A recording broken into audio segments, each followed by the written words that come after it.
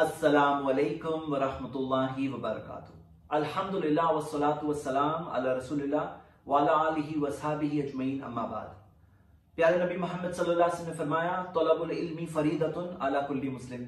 इल्म हासिल करना फ़र्ज़ है हर मुसलमान के लिए। मैं बहुत बहुत मुबारकबाद देना चाहता हूँ आईजीसी बुल्ढाना को और सारे स्टूडेंट्स जिन्होंने तोहीद क्विज में हिस्सा लिया। अल्हम्दुलिल्लाह, ये इल्म सीखने और सिखाने की जस्तजू थी। अल्लाह ताला इस कोशिश को कबूल करे। जो तीन स्टूडेंट्स ने टॉप किया है, मैं उनके लिए खसूसी मुबारकबाद देना चाहता हूँ। और आप सबको दो बातें बताना चाहता हूँ याद दिहानी के तौर पर। सबसे पहली बात कि जो तोहहीद के ताल्लुक से आप लोगों ने स्टडी किया है, आयतें याद की है, हदीसें याद की है वीडियो देखी है नोट्स याद की है, अब इसके बाद आपके लिए ज़रूरी है कि आप तोहीद के ताल्लुक से बेदारी और अवेयरनेस लोगों में जो मालूम है, उसे आम करने में आप भी अपना हिस्सा लें।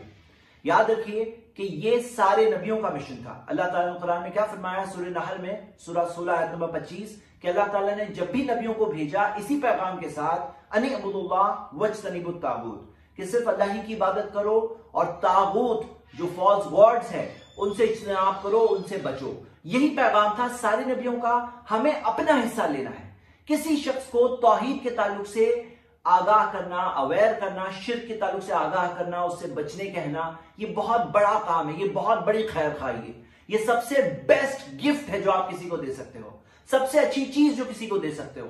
सबसे बड़ी नेकी है ज़मीन पर कि किसी को आप शिरक से बचा लो। तो मेरे भाई, मेरी बहनें, मैं आप सबको भारता हूँ कि ये पैगाम हम सबको मिलकर आगे पहुंचाना है। हो सकता है कि आप एक आयत ऐसी किसी को बताओगे कि जिसकी वजह से उसे एक बात समझ में आ जाए, उसके लिए कंसेप्ट क्लियर हो जाए? तो इस रोल को हम सबको इंशाल्लाह अदा करना है, ये सबसे पहली याद दहानी है। दूसरी चीज़, जो सिलसिला यहाँ से शुरू हुआ है, वो यहाँ खत्म नहीं होना चाहिए। अभी कोर्स खत्म हो गया सवाल आने खत्म हो गए तो बस सिलसिला खत्म हो गया, बस ये एक बार मैंने कोर्स किया था, ऐसे नहीं होना चाहिए। ये सिलसिला जो यहाँ से शुरू हुआ है, ये जारी रहना चाहिए, ये कंटिन्यूस रहना चाहिए।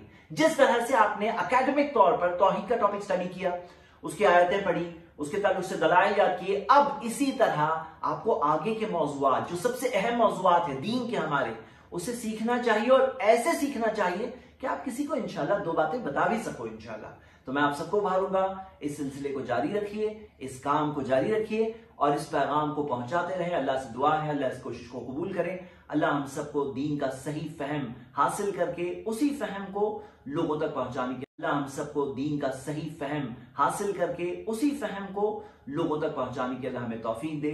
आमीन वाखिर दावाना अनिल हम्दुलिल्लाहि रब्बिल आलमीन। अलैकुम वरहमतुल्लाह